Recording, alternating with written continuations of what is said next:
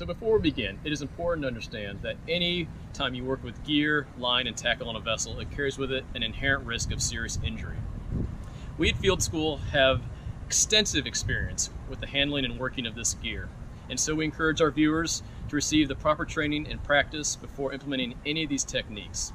Our gear is designed with animal welfare in mind and is approved for the use by the proper permitting agencies.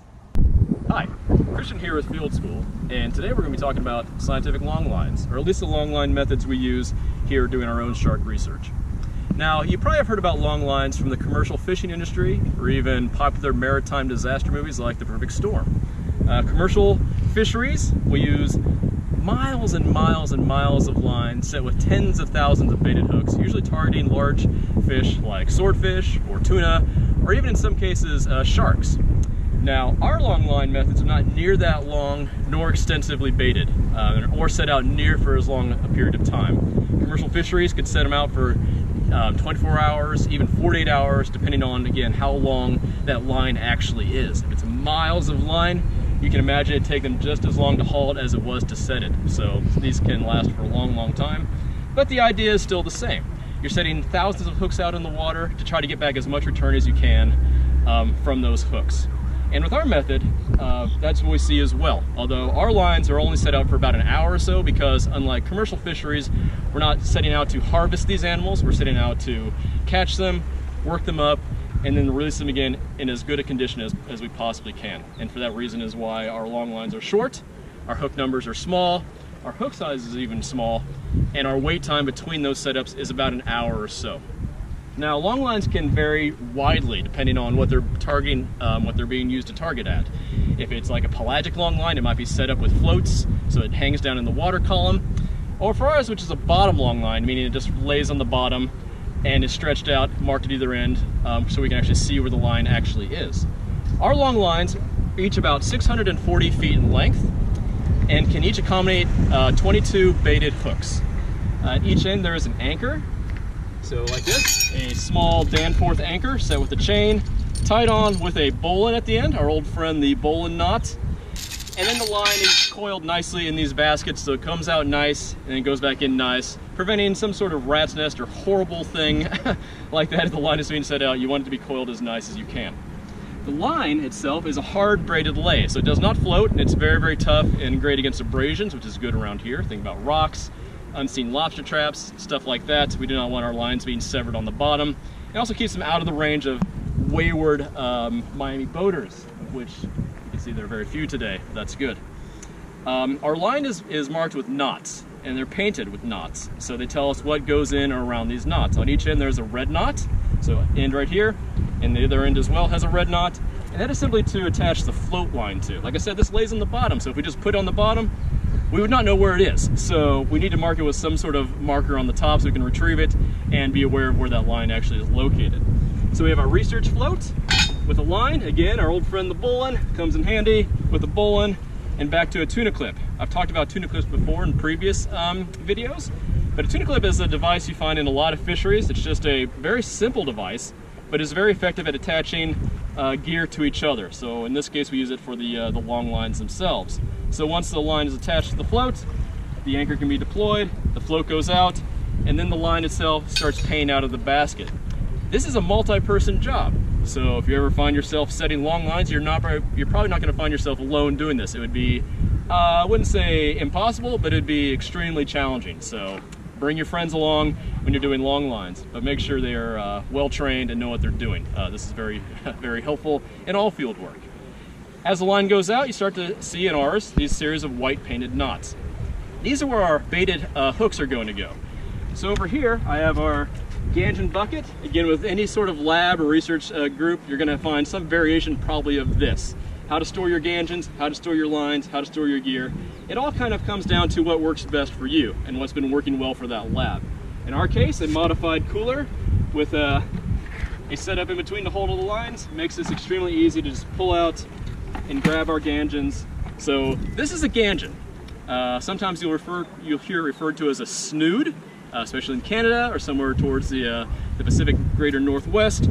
But in the end, it's all the same thing. It is a single baited line. So we have on here our little circle hook. This is a what's called a 13 aught. That is the size. So we have 13 aughts and 15 aughts. And on our previous video, when we talked about drum lines, we talked about 16 aughts. So the aught size is the size of your hook. These are little hooks though. So we're using them to target smaller sharks or younger age classes of sharks that we have around here. Again, we have our leader and our monofilament. And again, back to our old friend, the tuna clip. Now the tuna clip is gonna go on our lines here, not on the knot itself. We do not want that because the line is going out, although the line is going out very slow, it is almost challenging to get that thing on there while the line is moving. So what we have is a space between the knots.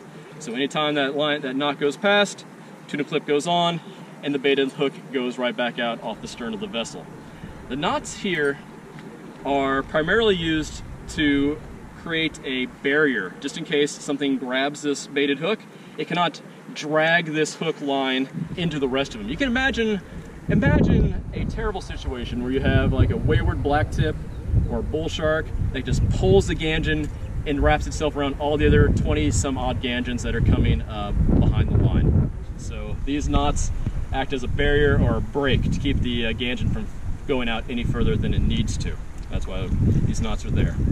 Once you reach the uh, the end of the uh, the end of the line, if you will, the end of the line, we have another uh, red knot, another set of floats. They go out, then the anchor is set and released, and voila, you have yourself set a scientific long line. So a real benefit of the long line is the ease of construction. I mean, it is simply a line, some knots, an anchor, a float, and some hooks. But on the other side of that, there is a lot of hooks and a lot of line to have to rig up and put together to make a, an effective long line. So that is kind of a plus and a minus with this method. Um, a real minus against the long line itself is simply the length of the line or the, the hook that's involved. Imagine this is all the all the length the shark has to swim around. So it is imperative you want to reduce uh, more morbidity and mortality on your lines, your long lines, to have uh, very quick checks. So an hour or so is fine if your length is this long. Um, if your gangion lengths are a bit longer, you can probably stretch that a little bit more. Again, that kind of depends on what kind of animals and sharks are in the are in the area.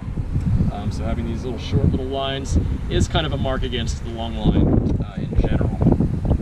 Uh, the long line can be set uh, with a bare minimum of crew, although the caveat is that crew must have a certain amount of skill set bringing uh, they're bringing with them to the table. Because of all the moving parts, the line, the hooks, the speed at which the line is set, hauling in that line, taking off all the hooks themselves, rebaiting all the stuff, the whole moving machine.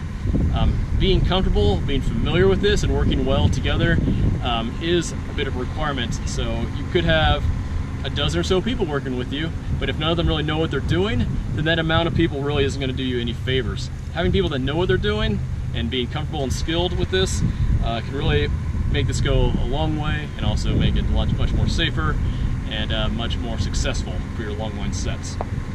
So in summary, uh, long lining is a very useful method in shark research, and in fact, it's probably one of the most common methods found in this field.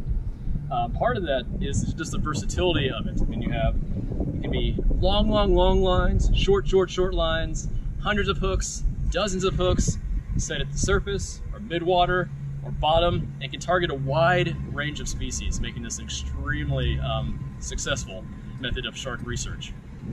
All right, I hope you enjoyed it, and uh, thank you for tuning in. Oh, hi. I didn't see you there. Today we're going to talk about long lining. and it's tied off to the, uh, the main line itself. This car. useful method. Useful method. Commonly found. A useful method. So in summary, long lining is a... Stop smiling.